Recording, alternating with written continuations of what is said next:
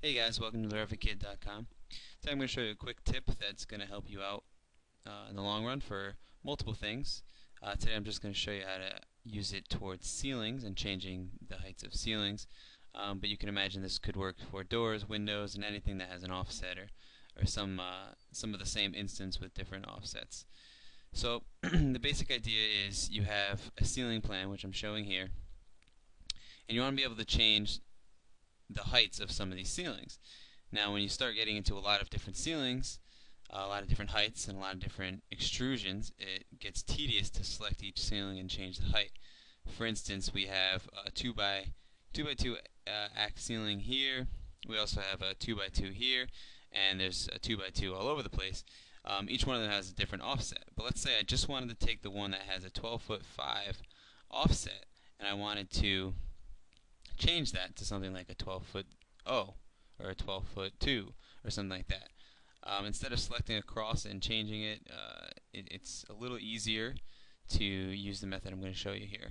So basically the idea is to create a schedule and in that schedule you're going to group the fields that have the same offset and then you can manipulate them that way. So if I go to view and I say schedules I'm going to do schedules and quantities and I'm, create, I'm going to create a ceiling schedule. So I click ceilings. New construction's fine, click OK. now you don't really need too many too many parameters here. All you're going to want is family and type and height offset from level. If you don't have this this uh, parameter, uh, it's pretty easy to make. I could go through a post of that, but I'm pretty sure there should be one called offset or something like that in a typical template. Um, so if we just pull over the height offset from level, click OK, it's going to make a schedule.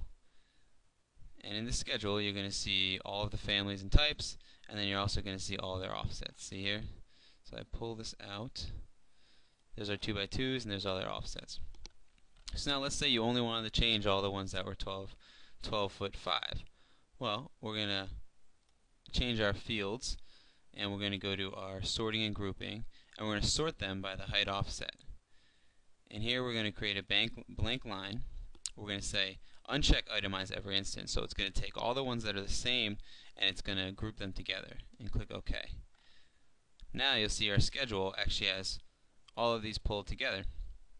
What you can't see is that there are multiple uh, multiple items in here. If you want to see that, we can add a count to it. Click OK, and you'll see how many ceilings are in each one. So here's our 12 foot 5 down at the bottom here. And let's say I wanted to change that to 12 foot 6. All I have to do now is go in here and select 12 foot, is types 12 foot 6, and it'll change all the ceilings just like that. So instead of selecting throughout the entire project or multiple picking, um, this is an easy way to change their heights. And because they are the same family and type, it's very difficult. You can't do select all instances in view, otherwise it'll select ones that have different offsets. So you can see this could be used for doors, windows, and any other type of object, but this is a good example and I hope you guys learned something.